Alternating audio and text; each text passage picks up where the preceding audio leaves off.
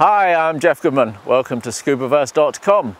Today we're looking at the Mares Cruise Roller Dive Bag.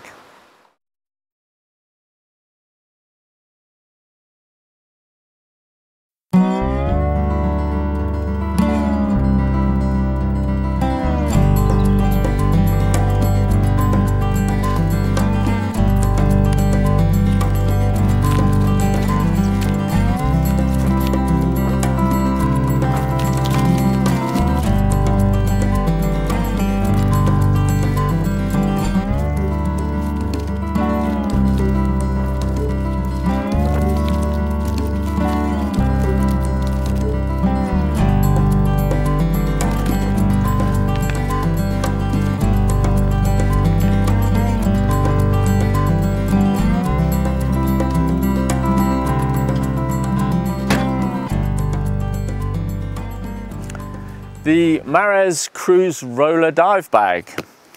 And this small hand package reveals itself fully when you undo the bottom Velcro strips. If you're looking for a good size dive bag, this is certainly the big one to look at. Two front extra pockets, bottom and top, good volume inside, carrying those extra pieces. The internal pocket itself is of a very big size. Certainly takes all of my dive gear and other things as well. Inside it has retaining straps so the gear can be held firmly inside. It's waterproofed, so if you have a wet wetsuit, it's not going to leak out into the back seat of your car.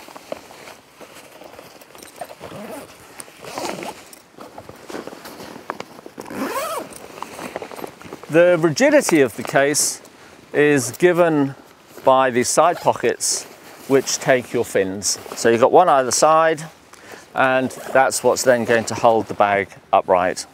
Without the fins the bag will collapse. Good roller wheels, very strong and two good grip handles, one at the bottom and one at the top. Extra clips at the sides to pinch the bag in around your equipment to hold it firmly in place. It's a very strong material, not going to wear through easily at all. Nice feature is at the back we have a pocket and inside are two shoulder straps to allow you to use the whole thing as a rucksack. So if you can't wheel it or it's too heavy to carry, uh, the rucksack option is nice. All folds away very nicely.